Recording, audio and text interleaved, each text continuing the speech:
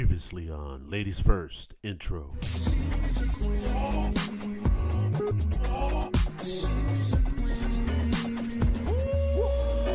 She's your uh, queen of beach. Step back and enjoy the scenery. More natural than gardens of greenery, but more advanced than some alien machinery. Her love so exquisite, embrace the laws of physics. We should all be committed.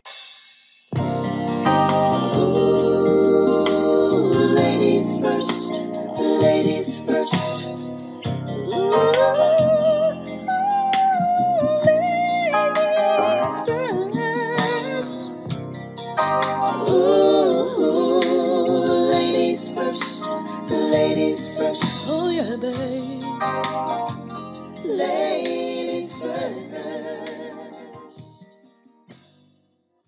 My name is Tesla Nay, and I'm from Baton Rouge, Louisiana.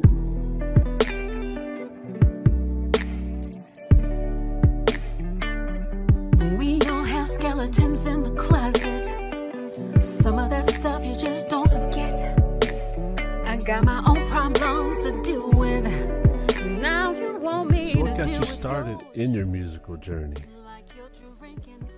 Well, I've been singing a long time since I was really, really young, and I started recording uh, in my 20s and uh, singing and performing professionally for about 15 years.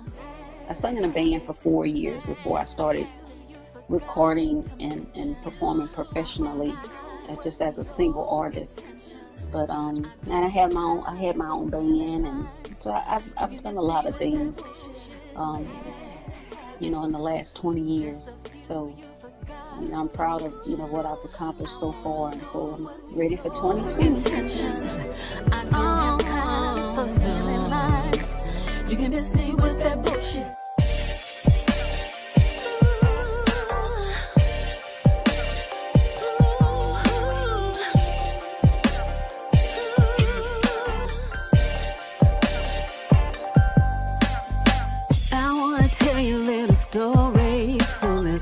What I gotta say. That was different um, because you sing all cover tunes, you know, other people's music, and so you know that's pretty much a show. It was a band. We had three lead singers, two ladies and one guy. We were called the Masterpiece Band. And that was a while ago, but I decided I didn't want to do that anymore. Know, it was a lot of late nights and weekends, and I enjoyed singing. And after a while, I just you know got burnt out on that part of it, and I wanted to do something for me, you know for me because I like writing, really strong passion for it. Yeah. Because it's kind of hard to, you know, to, to catch the feeling when you're singing somebody else's stuff. Because, you know, when they were singing it, they, they put their heart and feelings. Another person can sing someone else's music and put their own, you know, thing on it and and make it their own. And so, I guess I see it both ways. Um, you have to catch people's attention sometimes first, and and how you do that is by singing stuff that they're familiar with, and they'll be like, "Oh, she can really sing." And, and you, once you capture that, and then you start infusing your music, develop fans. Oh, yeah. People appreciate you and want to hear, you know, your music instead of someone else's. two.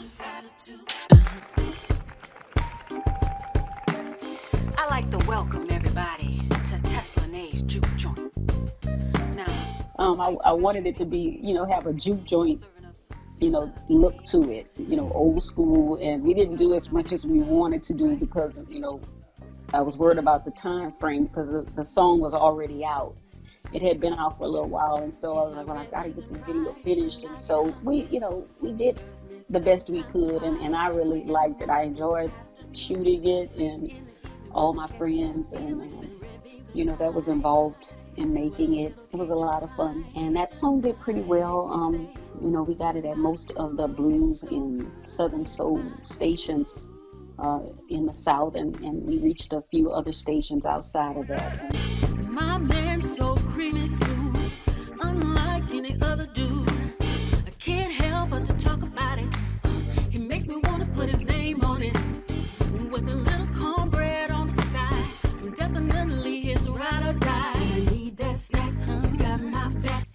Were talking about, you know, performing, you know, overseas and, and traveling and stuff. And, you know, a lot of people perform in the UK um, because they just have a big appreciation for the, the blues and R&B music.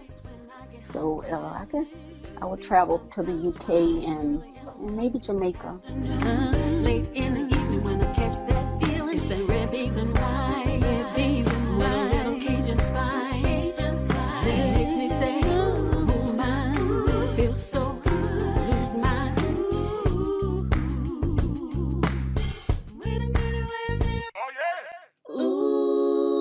Ladies first, ladies first. Well, this is Miss Portia from Baton Rouge, Louisiana. gonna cost you to ride this for me. I don't take no IOUs. You Me, I've been being trained to sing all of my life. My family, we sing in the kitchen all the time. But when did I start doing music professionally? I have to say, um, probably about 2013. Hey, cutie. What's up, baby? Is there anything I can do for you? I just want to keep you happy. Oh yeah, you know what I got was so funny because uh, it was at my aunt's house, and um, just so happened we she was ready. We were getting ready to cook, so I didn't take a whole lot of thought out to it. I just figured, you know, something simple. Everybody don't need a big old um, full court press. They just want something, somebody to treat them nice and cook them a home cooked meal sometimes. ever need, baby. If that's what you want, that's what you want. I'ma use what I got, use what I got. I'm really a homebody, so uh, anywhere I'm going, as long as everything is taken care of, the one place I might go is Dubai.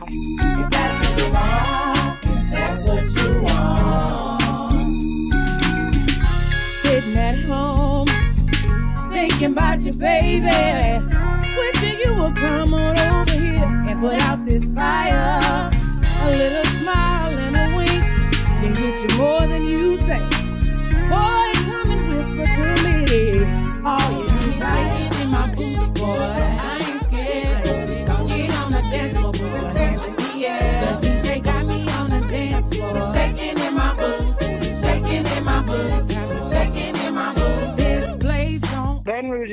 nice little town where you, you know, you come and you raise your kids. Of course, you know, we have Raful Neal and Kenny Neal and Jackie Neal is from here, Tyree Neal, and uh, Lil Boosie, of course. Um, so we're rich in the music industry, I should say, for the most part. It's a nice little quiet town. One more shake left in me. So I'm shaking this thing for you. You got me shaking in my boots, boy. I ain't scared. Take a good look in the mirror. You better like what you see. Yes, I'm talking to you, girl. Just trying to pass on some positivity. Oh, you can do whatever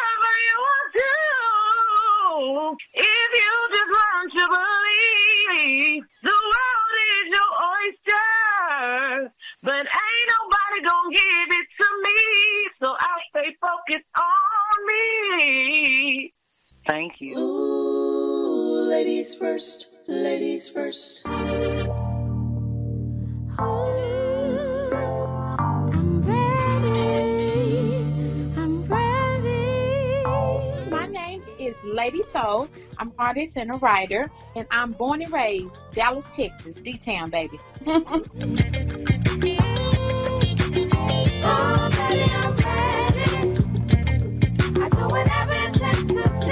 with you, I don't have a full project. My full project will be coming out in 2020. It'll be my first EP.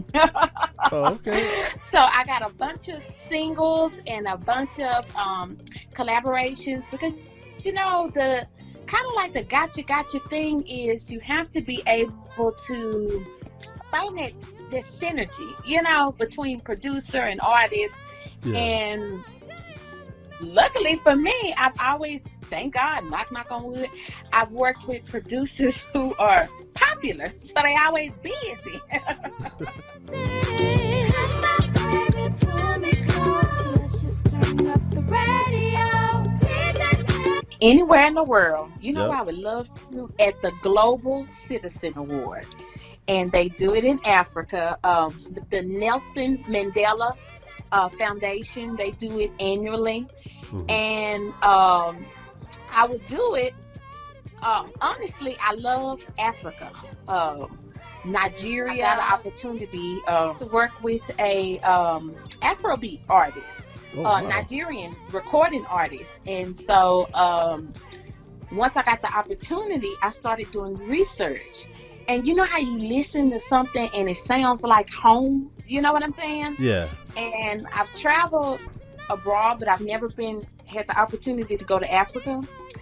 And so, but like I said, doing the research and looking at the documentaries, even from the um, Afrobeat King, and um, just the music and the culture, it just feels like home. You know what I'm saying? Yeah. And um, I just think that would that would be a, a real honor. The fact that the Nelson Mandela did for African Americans all over the world. You know what I mean? Okay. And so I that would be amazing. That's on my bucket list. I don't know if it'll happen, but it's definitely on my bucket list. Call me Wizkid, Naomi. Naomi Campbell's on the board. Call me. I got my passport, baby. And all my shots. I'm ready. All right. Make it happen.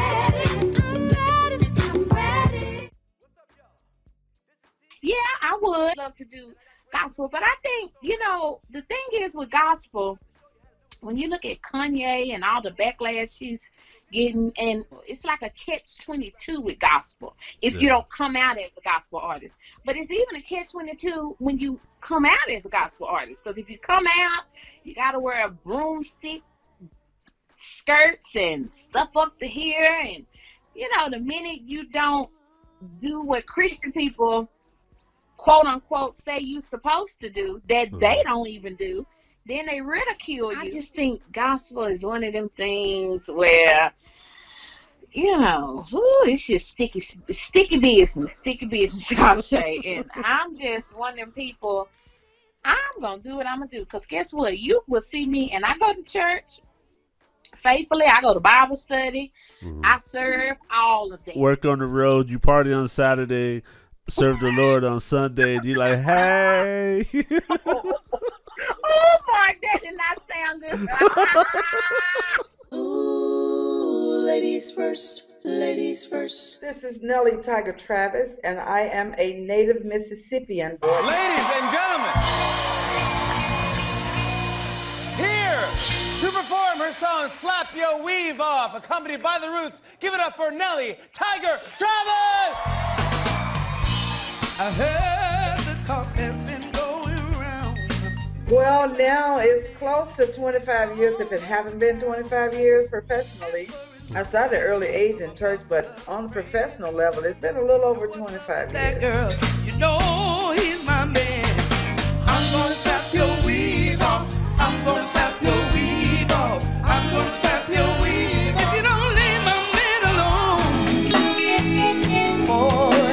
really cool. It just didn't benefit me like I thought it would. It was supposed to. It was a small record label, and of course the small ones don't really. I guess it just works for them, if you will. It got me into a lot of places. It did help me in some form. You know, a lot of times just having a label behind you uh, states a lot. You know, for itself. Me a lot about the blue world. But Nelly, don't you know my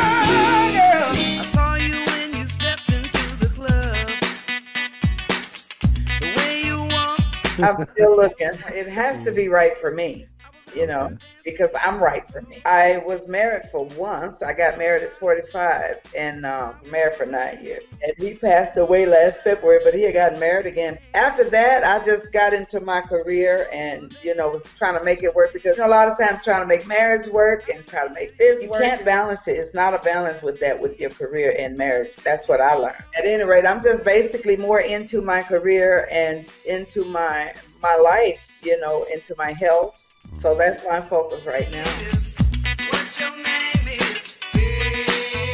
Mr. Sexy Man. What your name is? What your name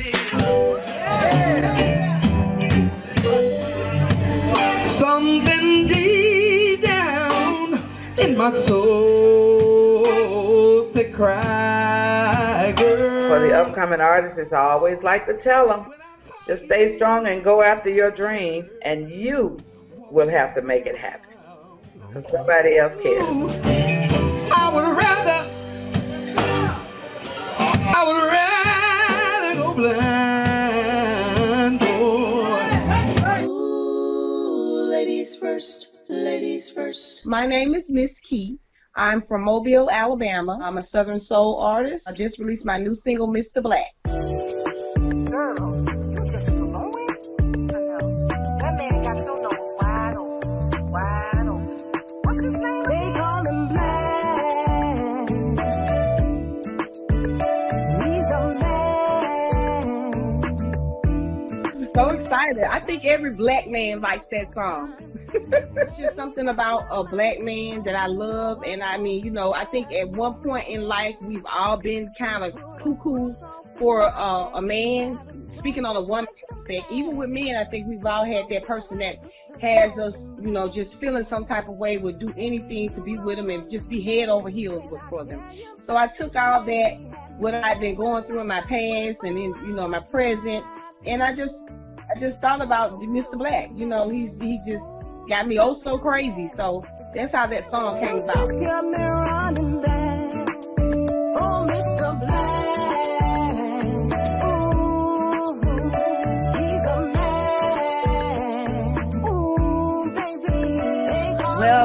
I started off of, like everybody else, mainly inside the church. Professionally, I was just riding with a friend one day and ended up into um, Moss Point, Mississippi. It's like a little another state, but it's like a town that's maybe like 30 miles from here. Friends down there, and they had a studio and stuck together as rap artists, and ended up, you know, getting with that label. Just started doing R&B and hip hop. Then life happened. Of course, I had to raise my children. You know, went to work every day and finished my education. When they all left home and I had an empty nest, there's nothing stopping me now. So I picked the mic back up and the rest is history. You know is way better than the others. I'm not ashamed to say I was head over heels.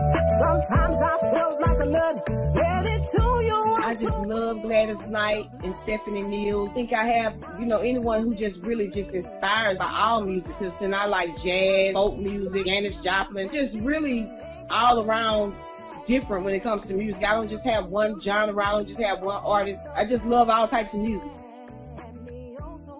Well, definitely my music is different because I write about what's real. I don't sit around and just talk about something that I have or something that I see like as far as value. I talk about real things. Of course, the music that they're doing now, they're always they're mainly talking about their cars, their you know, we popping tags and stuff like that. I'm talking about reality, love, war, politics, all that. You know what I'm saying? So you don't have a lot of that being said. Everything is fictionalized about the body, the sexuality.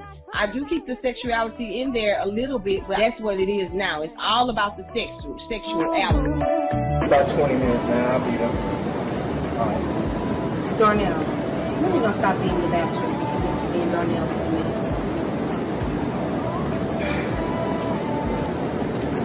Oh, so crazy.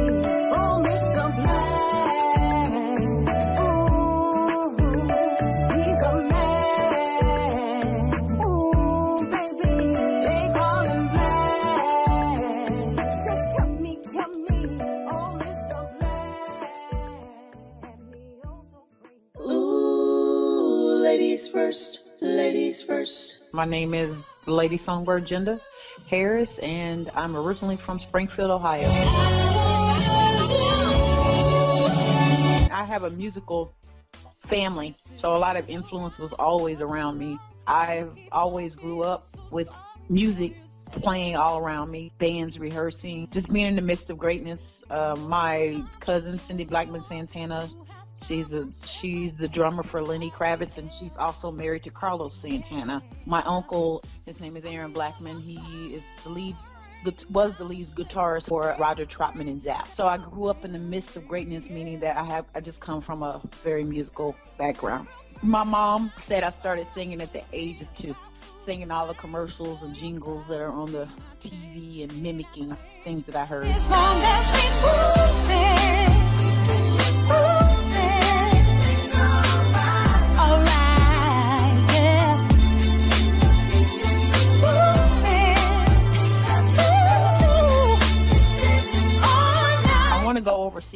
I definitely want to sing in Japan. I would like to do a little bit, little bit of also singing in UK and and also like to go to Africa. I feel like my my music and my voice transcends. It surpasses to me all all genres, all colors, creeds. I think everybody can identify. I don't like to keep myself in a box. I feel like I have a lot to offer to the world, and going overseas and and showing them what I have. I think that's the best way.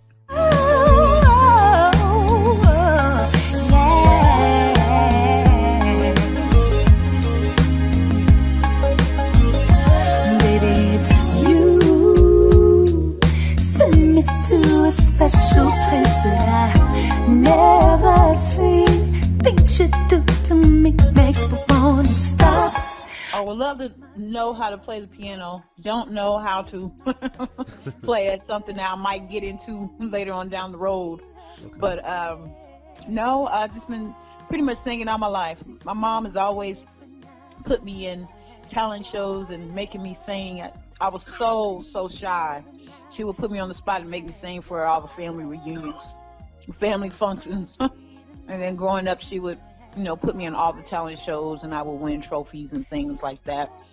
And then I've always been in choir from from when I started school all the way through high school.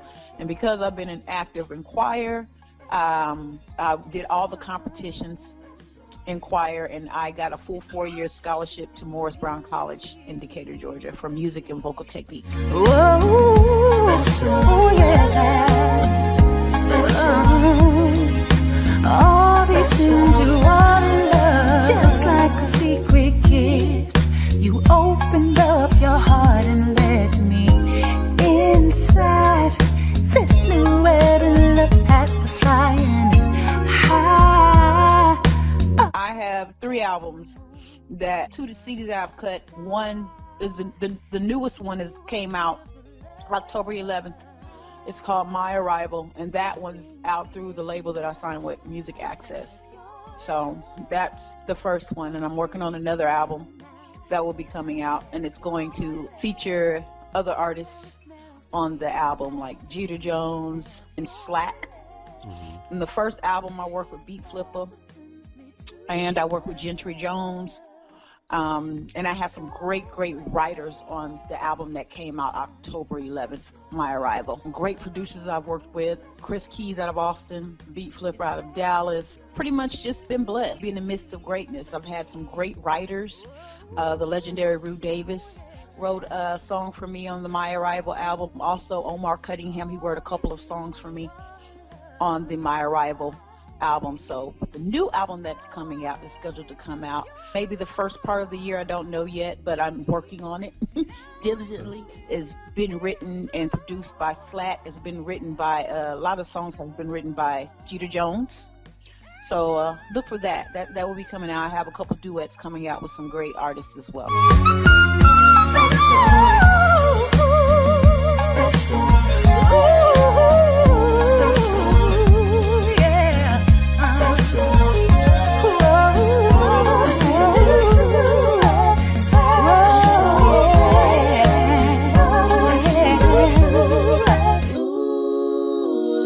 First, ladies first.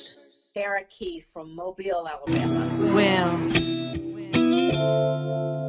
all good things must come to an end. The man that I was with half of my life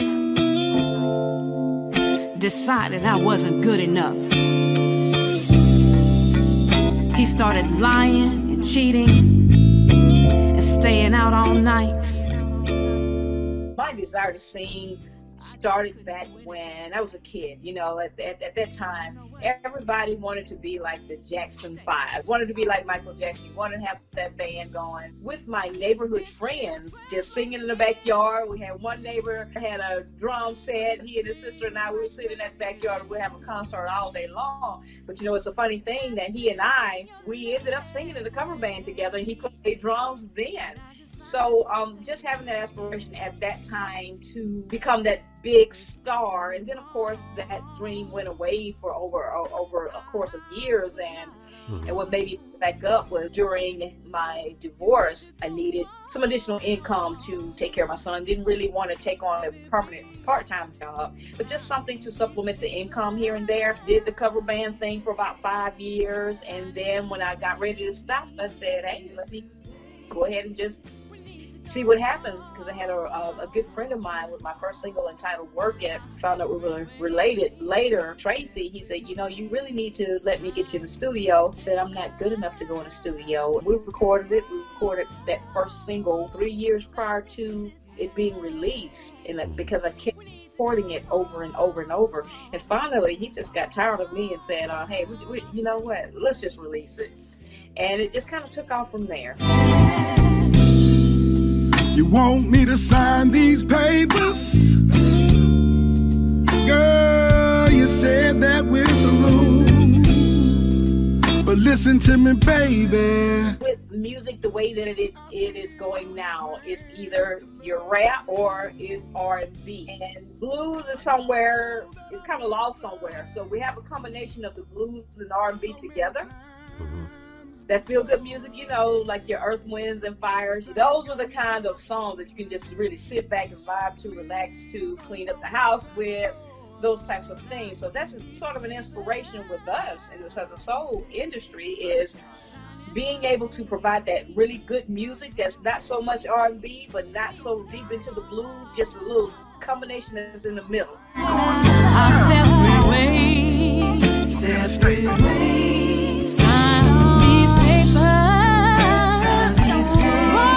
Like being independent because of the flexibility, but if a major label and the terms and conditions were right, I would not have a problem signing at all.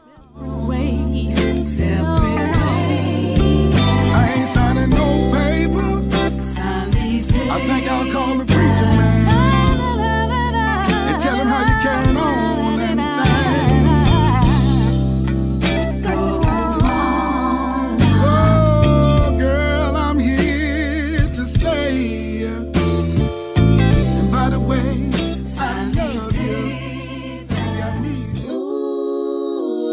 first, ladies first. Come on, let's party.